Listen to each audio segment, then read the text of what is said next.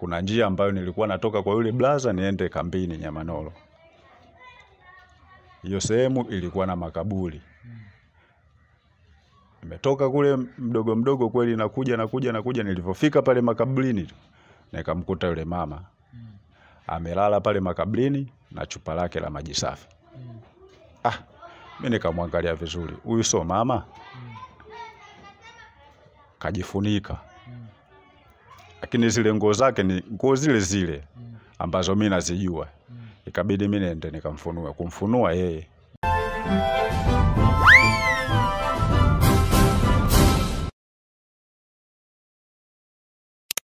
Eh, namuuliza mama vipi? Anijibu kitu. Mama vipi? Anijibu kitu. Ikabidi mimi nianze kum, kumnyanyua. Nikimnyanyua anyanyuki. Bahati mzuri pale akapita mtoto. Ani mbali na, na kambini kwa baba. Akapita mtoto. Alipopita yule mtoto nikamwambia bwana, nenda pale getini. Jeshini pale nenda getini kwa askari yoyote au nenda kamuulizia Hamisi. Au ukishindwa kumkosa Hamisi basi waelezee wale wanajeshi ambao wapo zamu pale, waambie bwana, kuna mama mama Hamisi amedondoka makaburini, Eh, waje. Nipo mimi mwanawe wa kwanza, lakini waje wanipe msaada. Kweli yule dogo alivyoenda pale akawakuta wale walinzi, akaambia wale walinzi, akaja mlinzi mmoja. Huyo mlinzi naye nakumbuka alikuwa rafiki yangu anaitwa Blaza Amadi. akaja mpaka pale akaniambia Rajabu vipi? Nikamwambia da, mimi sielewi, nimetoka kwa Blaza Beni eh, nakuja nyumbani, nafika hapa ndo namkuta huyu mama hapa chini. Ah, basi ngoja tumchukue bwana, Eh, hebu mshike huko. Kweli mimi namshika huku na yeye anamshika huku, tunabeba chupa lake la maji tunamfikisha mpaka nyumbani, ajiwezi, tumemuingiza mpaka ndani. Da, mimi ukiangalia leo Jumanne, kesho Jumatano, kesho kutwa Alhamisi mimi naondoka.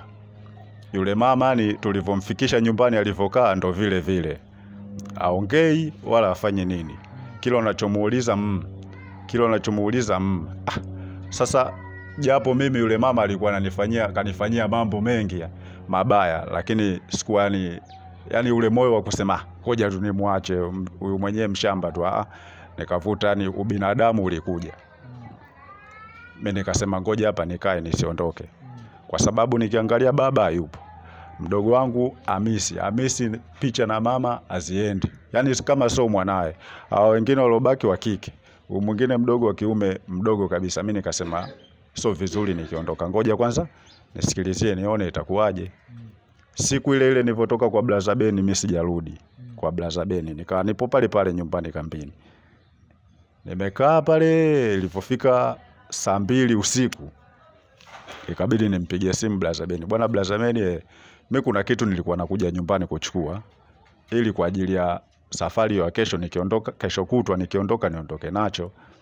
Ila sasa nilichokuta huku mimi huko siwezi nikaja. Vipi Rajabu? Nikamwambia bwana, mimi kipindi nakuja huku nimepita njia ya nyuma. Nilipofika makabrini tu nimemkuta mama kadondoka. Kwa hiyo kuna kuna mtu alipita, bahati nzuri nikamtuma pale kambini akafate akatoe taarifa, kweli amekuja na askari mmoja, tukambeba ndo tumemleta nyumbani. Kwa hiyo sasa mimi huko siwezi nikarudi, ngoja nimsikilizie. Sawa, umefanya jambo la maana kweli. Yani mimi namsikilizia ile siku ya kwanza saa mbili ile saa tatu ikabidi mimi nilale pale pale, tukamchukua pale, tukamemtoa sebleni, tukampeleka chumbani. Baba hapo hayupo, yupo kwa mke mwingine huko kijijini na mimi nikiondoka pale inakuwa sio vizuri kwamba aliletwa hapa na, na mtoto wake yule wa kwanza wa kiume, maana watu wanajua hivyo, yani mimi mtoto wake wa kwanza wa kiume, hawajui kama mtoto hawajui kama mtoto wa kufikia. Ikabidi mimi nikae pale pale, nimekaa pale. Usiku ulivyofika, dogo Hamisi akarudi, nikamwelezea. Baada ya kumwelezea yule dogo alichonijibu, ah, imekuwaje? Ah, lakini achana naye. Eh, kipindi hicho mama yake yupo ndani achana naye. Nikamwambia sawa, wewe utakuwa unajuana na mama yako, maana mimi nimekuja tu. Ah, achana naye bwana blaza. Yeye huyo akatoka katoka nje, mimi nikabaki mule mule ndani. Usingizi mimi umenipitia, nikalala. Dogo hata alivyokuja naye kulala sikumuona. Sasa ilivyofika saa tisa usiku tukaanza kusikia makelele. Yule mama anapiga makelele, yaani makelele hayo sio ya nchi hii piga sana makelele, mara lango lile linavunja. Sasa mimi nimelala na yule mwanaye mdogo wangu, namwambia wewe Hamisi, mama huko mbona kama nasikia kelele afu za mama, kuna nini? Hebu kwanza twende tukaangalie. Ah, bwana achana na wewe bwana, mimi nalala bwana, usiniamshe. Ah, ikabidi mimi nitoke. Kutoka kwenda chumbani kwake ndo nasikia makelele yao, naita mama, mama, yeye ni makelele, baba, baba, makelele, na mlango umefungwa. Ikabidi mi ule mlango nitake kupita nao, lakini kabla sijapita nao nasikia dirishani mtu anaita. Yani kota ambayo tulikuwa tunakaa sisi gorofa hili geti lipo hapo, kwa hiyo walinzi mpo karibu. Kwa hiyo wali, waliwahi kusikia baada ya kuja ngongo wanagonga, anagonga Rajabu Rajabu. Ambia yeye vipi?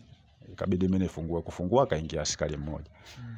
Nikamwambia mimi sielewi tu kama mlivyosikia nyinyi maana mimi nilikuwepo nimelala lakini nasikia ndani kuna makelele. Toka jana ile bi mkubwa tulivyomleta saa hizi ndo anapiga makelele. Kweli wale wakaingia wakavunja mlango, wakamtoa, ikaitwa defender, akapakiwa kwenye defender, akapelekwa hospitali mia sita na mbili hospitali ya jeshi wakati anapelekwa hiyo hospitali ya jeshi, yani wewe kumshika uwezi ukamshika peke yako, lazima Wanavunja mlango, wanavunja mlango walimkuta katika hali gani? wakati wali, wanavunja mlango wamemkuta yupo katika hali ana, amevaa nguo zake vizuri Mm. lakini ile nguo ilikuwa imechanwa maeneo haya, ina maana nani alikuwa anafanya hii ang'ata Mm. kwa mdomo. Kwa hiyo maeneo haya yote yani ilikuwa imechanika, ndo kumchukua kumfunga kamba, kumweka kwenye ile defender, kumpeleka mia sita na mbili hospitali na mimi nikiwepo kwenye hilo defender. Maneno aliyokuwa anaongea mule, yani mimi mwenyewe nilikuwepo sielewi Mm. eh, kwa sababu yeye mara akiniona mimi ananiambia usiangalie nyuma eh, ajabu usiangalie nyuma, sijui hapo kuna nywele za mama nani eh, sijui usiangalie nini sijui yani yeye yeye alikuwa Alikuwa anaongea maneno gani zaidi? yani maneno aliyokuwa anaongea Mm. akiniona mimi Mm. nipo yani ataka nimekaa hivi Mm. Anaweza akaniambia kunjua mikono eh, Rajabu kunjua mikono eh, labda kaniangalia mimi kanikuta mimi nimegeuka nyuma ananiambia usigeuke nyuma eh, kuna nywele za mama Mele Na huyo mama Mele unamjua? Mama Mele yupo juu goro, yani ile nani kota ambayo tulikuwa tunakaa sisi, sisi tupo chini, Mama Mele yupo juu. Mm. Kwa hiyo ndo alikuwa anaongea hivyo. Sasa mimi nikaselea, huyu anaongea nini? Kweli wamempeleka mia, mia sita na mbili, yani kule wakasema kwamba "Oh, huyu ana malaria, Mm. kwa hiyo hapa itabidi tumpe dozi ya malaria. Mm. Wakamchoma sindano, baada ya kumchoma sindano akalala, alivyoamka ni mwendo ule ule, Mm. mwendo ule ule.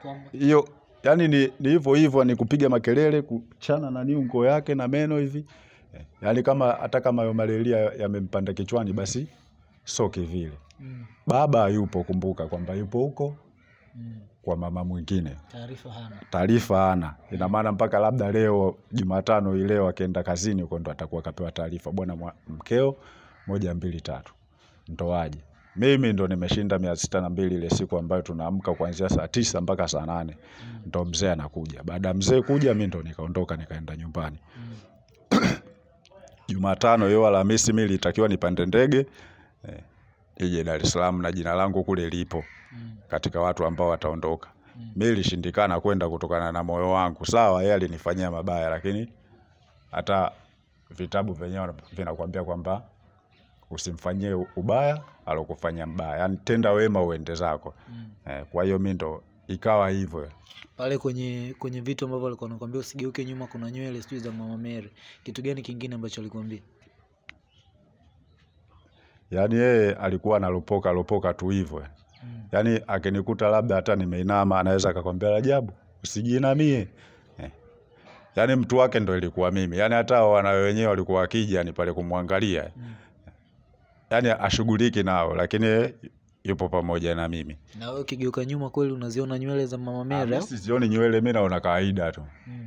Eh, na katika sehemu kama zile uwezi ukakaa tu umeganda hivi tunaangalia. Sometime lazima hata ujitingishe mm. eh, ukae vizuri. Sasa kitendo kile mimi cha kukaa vizuri lazima yeye atanitupia neno. Mm. Eh, Rajabu sijui na nini.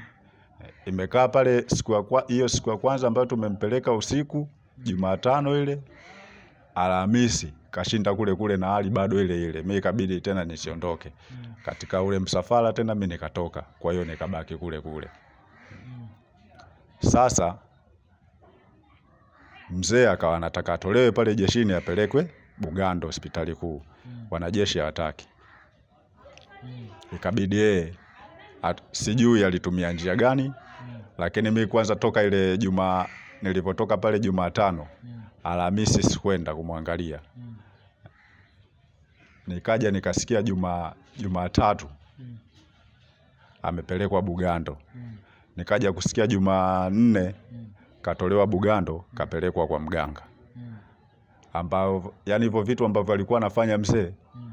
tena ikawa sio tena ndani ya serikali, akawa tena anafanya yeye mwenyewe. Kwa hiyo akamtoa pale mia sita na mbili akampeleka Bugando, akamtoa Bugando akampeleka kwa mganga huko sehemu moja na Butimba, sijui wapi ndani ndani. Mm. Sasa jeshini kule sisi, mimi sielewi hali ya mgonjwa, wadogo zangu hawaelewi, wanabaki tu wanaulizia baba, atumuoni Mm. hata kurudi pale nyumbani. Akitoka kazini tulikuwa tujui kama anaenda labda kule kwa yule mke mwenzie Au kaenda kwa mguu. au kaenda kwa mgonjwa, hatujui.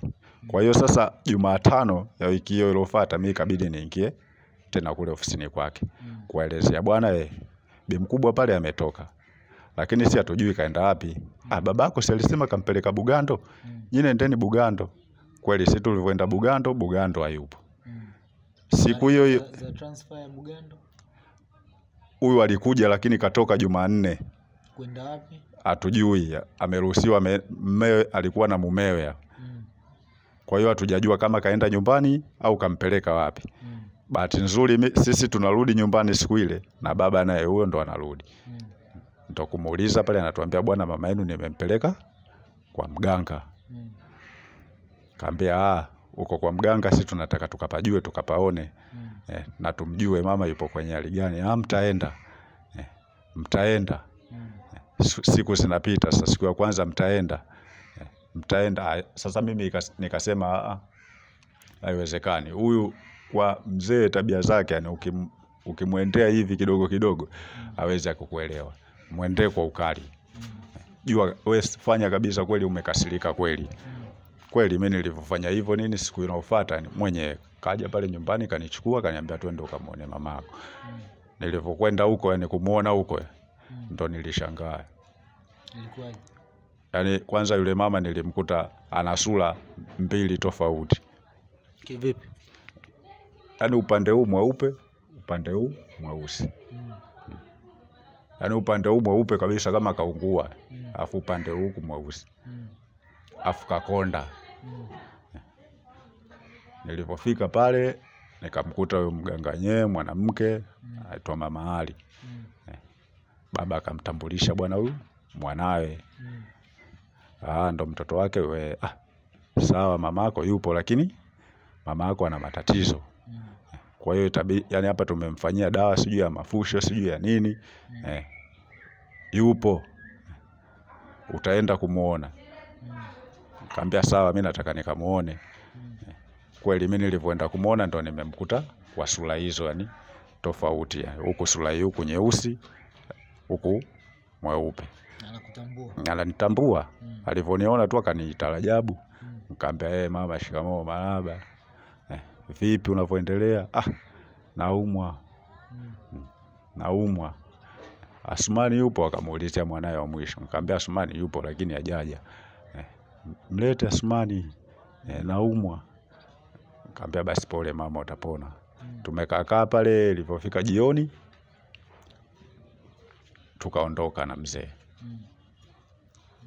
Tulivyoondoka Bila bila kuhoji mama, hii hii rangi mbona huku hivi au hivi, yeye au yeye anajiona yupo sawa. yeye mwenyewe anajiona yupo sawa, Mm. ila mimi baada mimi mwenyewe kwa, ku, kwa kujiongeza ni baada ya kumwona yupo kwenye hali ile Mm. Nilijua pale nini kilitokea.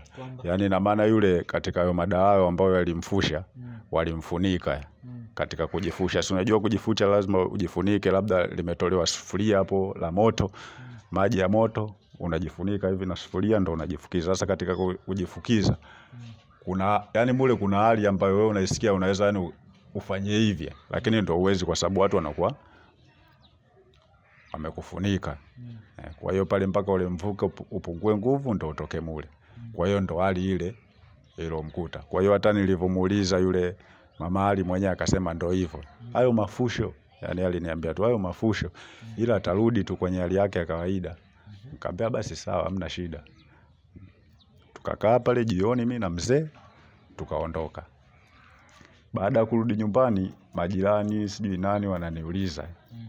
Kaambia mama, jambo ipo wapi? Ah, yupo tuko, kuna sehemu baba kampeleka. Kwa hiyo akawa wananiuliza ni kwa, kwa mganga sijui kwa nini siju sijui kwa nani, nikamwambia eh, ah, haya bwana. Hivyo mi nikarudi zangu nyumbani, nika nikawaacha pale, nikawa naendelea na mambo yangu kule. Mimi nikawa napajua, lakini sasa kwenda kipindi kile mi nipo nyumbani, sichezi mpira wala sifanyi kazi yote, mguu kama hivyo unaniuma, sina hela. Na maana mimi yani tagi yangu target yangu kubwa yani, yani ya kupata hela ilikuwa labda niende kwa Blaza Beni, ndo nimwambie bwana Blaza Beni, na shida na kiasi fulani, yeye ndo anipe mimi nifanye mambo yangu. Ah, nafanyaje? Kasema ngoja niende kule kule kwa Blaza Beni. Kweli nikaenda kule nikamwambia bwana Blaza Beni, moja mbili tatu. Ah, kwa hiyo tunafanyaje? Nikamwambia mi inabidi kuwe ni, niwe na ruti za kwenda kumwangalia yule mama. Mm. Eh, basi sawa, mi nitakuwa naacha hapa hela, wewe ukija nini utakuwa unachukua unaenda kumwangalia. Kaambia sawa. Kweli yule jamaa alikupa ananiachia wale hela, nikienda nakuta elfu tano Eh, naenda mpaka kule namwangalia. Mwezi mzima yule mama alikaa kule. Mm. Alivyo baada ya mwezi sasa kupita huku jeshini, taarifa sasa kukawa hamna Mm. Futa macho. Taarifa kukawa hamna, yani kwamba yule mama yupo wapi, aji ana aji anauguliwa na anauguliwa na mkewe, lakini sasa mbona hatujui huyo mkewe yupo wapi? Anza hapo baada ya kupita mwezi. Baada ya kupita mwezi, Mm. maaskari sasa wale wakawa wanajiuliza, huyu Mm. huyu aji anauguliwa na mkewe, lakini mbona hatujui mkewe yupo wapi? hospitali Mm. Hospitali zote kamtoa, yupo wapi? Mm. Kila kule wakimwambia yeye hataki kuwaambia yuko wapi. Mm. Basi wale wakasema huyo mke wake Mm. wakamwacha. Baada ya mwezi kule kupita kwa yule mama, sasa mama ndo akawa anaendelea kidogo vizuri, Mm. lakini sura yake ipo vile vile. Ikabidi arudi nyumbani. Alivyorudi nyumbani, kakaa wiki ya kwanza, wiki ya pili yupo vile vile, wiki ya tatu aka yupo vile vile mpaka mwezi unapita, yupo vile vile, lakini ule mwezi uliofuatia, Mm. yani akaja kuwa akaja kuwa bonge Mm. yani kaja kuwa bonge ghafla, Bonge ya kuvimba ya kunenepa. amene- eh, amenenepa yani. Sasa sijajua nikanenepa kwa nini, Mm. lakini yani kawa bonge, yani kila sehemu yani amekuwa mnene, na yeye alikuwa yani ni mtu wa kukaa hapo hapo tena Mm. sebleni, Mm. akitoka asubuhi mpaka usiku, muende mkamtoe mkamwingize ndani, Kutembea hawezi. kutembea hawezi.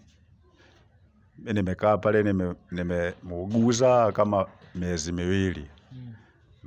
Baada ya miezi miwili ile mi nikamwambia, nikamfata yule kakaangu, nikamwambia bwana blaza, hali ya mama sasa hivi inaendelea vizuri, Mm. mi bado nipo kwenye mchakato wangu ule ule, Mm. mi nataka kwanza nikamsalimie mama Dar es Salaam. Da, kwa hiyo tutafanyaje? Basi hapa mimi nikupe nauli tu. Nikamwambia sawa, akanipa nauli, nikafanya process za naniu tiketi, nikapata tiketi,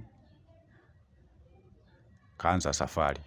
Kabla ya kuanza safari ulibahatika kujua kilichokuwa kinamsumbua mama wa kambo ni nini, na wakati unaondoka, kati yeye kawa bonge, ile sura mbili rangi mbili tofauti zilikuwa zimeisha katika mwili wake. Zile zile hali zilikuwa bado hazijaisha kwenye mwili wake, ilikuwa bado vile vile. Mm. Na mimi katika kuuliza kwangu, Mm.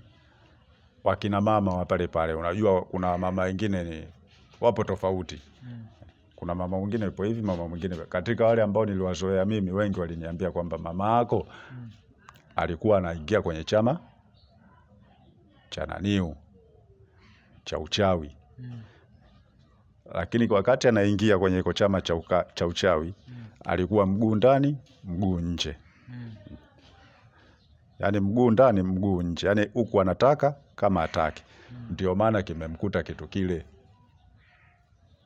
na ndio ilimpelekea. Kwa hiyo makaburini pale alipodondoka alikuwa anafanya nini? Au alienda kulala? Um- Ulisema kwamba umemkuta kajifunika. Kalala na chupa yake ya maji ipo pembeni. Mm. Zile nguo ndo zilinishtua mimi, mbona mama ana nguo kama hizi? Alikuwa amelala juu ya kaburi au chini? Ah, kalala chini, Mm. kaburi ilo hapo kwa pembeni. Mm. Zile nguo ndo zilinishtua mimi, hizi nguo mbona kama za mama? Mm. Kweli nikaita mama Misi, mama Misi mm. akatingishika hivi kumfunua hivi yeye, Mm. najaribu kumwinua hivi mzito, yani ainuki. Mm. Kila nikijaribu kumwinua ainuki, ndo kwenda kuomba msaada. Ina maana pengine wewe usingetokea pale ndo angefanikiwa kujiunga au ndo ingekuwaje? Ndo hapo sijajua, maana Mungu naye ana mambo yake. Mm. Mm. Sasa sijajua kama angekuwa kajiunga au ingekuwa bado, Mm. sijui. Sawa, ukaja Dar es Salaam huku umemwacha katika hali ile ile ya kwamba nusu mweupe nusu mweusi. Wewe ukaanza safari ya kuja Dar kwa mama mzazi sasa. Baada ya kufika Dar Mm. kakutana kweli na mama, tukaongea habari za huko, nikamwelezea mambo yote. Mm. Baada ya kumwelezea mambo yote, mama akasema ah, hayo ni mambo magonjwa tu ya duniani. Mm. Hata mimi mwenyewe sijui kimempata nini mamako, lakini hayo ni magonjwa tu ya duniani, sijui Mm. kwa sababu wewe ndo unanihadisia, tumwombee. Mm. Kaambia inshallah. Mhm. Kaa hapa kwa mama, nimekaa kwa mama miaka mi, mitatu, ilipita miaka mi, e, miaka mitatu kule tena nikawa sina mawasiliana nao zaidi ya mdogo wangu huyo Hamisi. Mm. Eh, Huyo Hamisi nikiwasiliana naye ananiambia ah, mama kidogo ajambo, lakini ndo vile vile mtu wa kukaa tu Mm. Eh, kidogo ajambo, lakini hivyo hivyo mtu wa kukaa. Muda mwingine anampaga simu ananiulizia Mm. eh, kaka yenu vipi? Ananipa simu, mi naongea naye, mama vipi? "Ah, safi, njoo basi la ajabu. Ananiambia njoo, Mm. mbia mi nitakuja huko mama, siku yoyote nitakuja. Yaani toka nirudi Mm. sijakanyaga tena, Mhm. toka nirudi sijakanyaga tena, na nikasema bora maisha yangu yabaki kuwa huku huku, Mm. tajua nafanyaje huku mjini tofauti na kule. Mm. Huku ndo kuna vitu vingi yani vya kufanya tofauti na kule. Kwa hiyo hata huku mi naweza kaamua kubaki huku huku kwa bi mkubwa. Hali yake kule? Kule hali yake yani yule ni bado ni mtu wa kukaa kwenye kiti tu Mm. muda wote mpaka leo hii ninavyokwambia, Mm. kwa sababu hata ukiwasiliana naye hapa, mdogo wangu atakwambia tu mama yupo, Mm. Rangi zake? Rangi zake vile vile, na nikimwambia vipi, lile kovu lake limefutika, anasema ubanzi mmoja huku bado vile vile Mm. weupe weupe, Mm. lakini sio tena mtu wa kufanya shughuli sijui ni na nini. Yaani kwa kifupi, yule mi naona Mm. kapigwa Mwenyezi Mungu mwenyewe. Watu wanakuambia Mwenyezi Mungu anakupiga kofi ukiwa na roho tofauti, Mm. anakupiga kofi, yaani kofi lenyewe ndo lile, kwa sababu hivyo vitendo, yani hiyo roho yake, mtu akishakwambia mtu ana roho mbaya, Mm. jua kabisa hiyo roho mbaya sio kwa mtu mmoja. Mm. yani hiyo roho mbaya ana roho mbaya, basi ana roho mbaya kwa watu wote, kwa sababu hata bibi yangu aliletwa pale Msababa, Mm. alitoka Ukelewe na Nsio, alikuwa anaumwa kifua, aliletwa pale, yani mambo aliyokuwepo anafanyiwa pale. Ndio maana hata wale yani mimi nilipokuwa naenda kuwalalamikia jeshini kule, walikuwa wananiona kabisa nipo sahihi. Ina maana hata yeye kule yani ikitokea ugomvi akienda kule jeshini, wanamzalau wanamuona yeye ndo ana matatizo. Bibi yangu mimi aliteseka mpaka anakufa na hospitali hajapelekwa na kaja kwa mwanaye Mm. kutibiwa. Na wewe ulivyomkuta pale makaburini kadondoka, kwanza ile ilikuwa ni dondoka ya kuanguka au ni mtu kalala akajifunika? Kwa sababu mtu aliyedondoka kuna tofauti ya namna ambavyo unamkuta. Yaani yule nilivyomkuta mimi, Mm. yule kalala Mm. hajadondoka, Mm. kwa sababu mpaka kajifunika kabisa Mm. na kanga. Mm. Na maana yule kalala yani kabisa, alijiandaa nikaenda pale ka, kalala kajifunika na nguo. Sijui, lakini kwa jinsi nilivyomkuta Mm. inaashiria hivyo.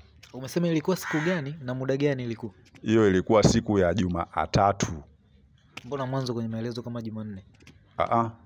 hiyo ilikuwa siku ya juma Jumatatu, Mm. Jumatatu, Jumanne, juma, maana Alhamisi mi nilikuwa naondoka, mm.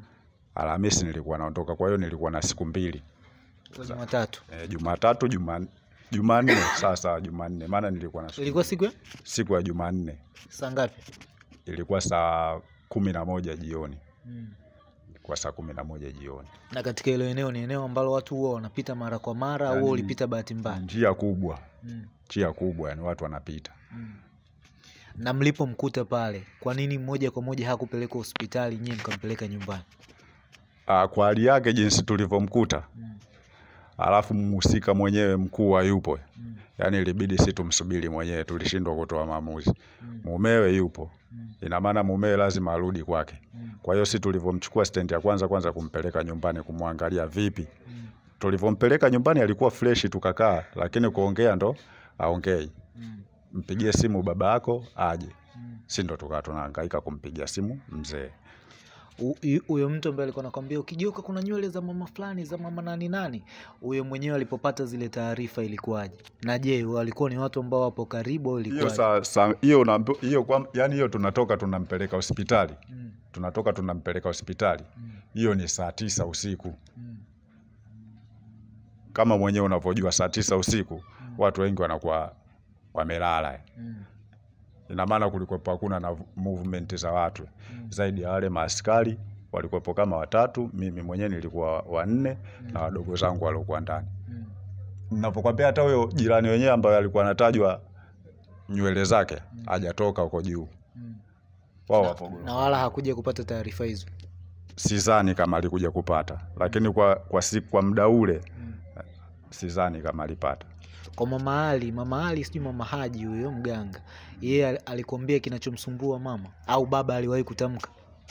Baba yule yule yule yule mama Mm, yule mama sikukaa naye sana, mm, lakini yule mama alikuwa anakaa sana na, ma, na baba. mm, Kwa hiyo mi nilikuwa nategemea ni data zote za yule mganga nitazipata kwa baba, mm. lakini baba kila nikimuuliza baba, kwani kinachomsumbua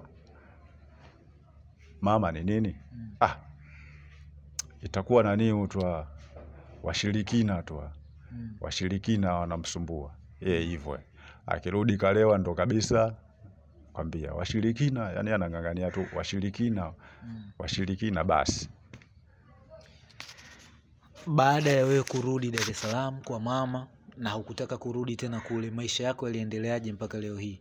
Na ndoto zako za kujiunga na jeshi la wananchi wa Tanzania sawa, lili ziliendaje tena, au kwamba ndo haukutamani tena, haukufanya taratibu zingine? Kwa sababu kama ilishindikana kule, kungekuwa na uwezekano wa kufanya taratibu zingine.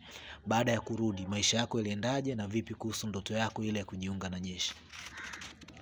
Da, ile ndoto mi nilikuwa nayo, afu nilikuwa naamini kabisa kichwani kwamba mtoto wa nyoka na yeye lazima awe nyoka.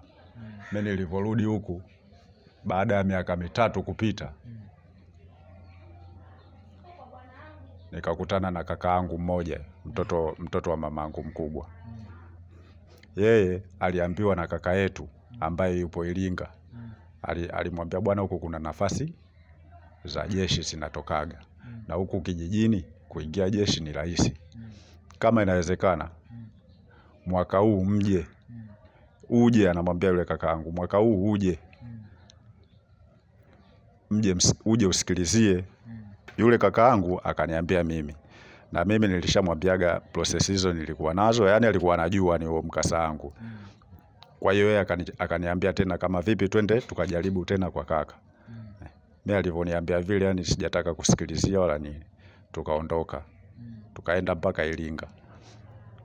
Tulipofika Iringa kule tuliondoka na huku na tulifanya kwa vile mimi yale makaratasi nilikuwa nayajua nini na nini yanahitajika, na huku pia tukafosia tukapata vile vile vitu ambavyo kule vinahitajika, ila tulikosa kitu kimoja tu, living kweli tuli, eh, tulienda mpaka kule tukapelekwa mpaka sehemu husika eh, vinani vyetu vya mpatanishi vyetu vile vilikaguliwa. Kwa hiyo kilichokosekana ni living. Tukarudi tena tumeshindwa, ina maana tukarudi tena da.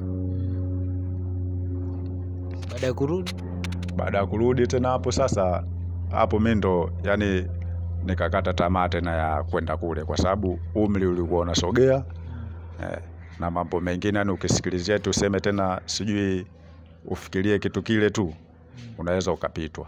Mi nikaanza kujishughulisha kwenye mambo mengine. sawa baada ya kujishughulisha kwenye mambo mengine maisha yakaendaje umeshakuwa mtu mzima taratibu za familia na nini Mm, nilivyorudi huku baada ya kuanzisha maisha mengine kakakaa ni kakutana na msichana mmoja hivi kapata mtoto mmoja, lakini kwao pia kulikuwa na changamoto, sikubahatika kumuoa. changamoto gani Ah, kwao kwao kwao kwao Wakristo, mi Muislamu, kwa hiyo baba yake alikuwa hataki Waislamu. mm. Mm. Peleka barua mara zaidi ya mara tatu, Mm. ikawa inarushwa rushwa tu, mara baba hayupo, mara sijui kaenda wapi, lakini ukiulizia kwa undani zaidi unaambiwa mbona alikuwepo mzee siku zile. Mm. Kwa hiyo mi nikaambia familia yangu chanini nalo swala hilo, Mm. takapokuwa tayari Mm. tafanya mambo mengine.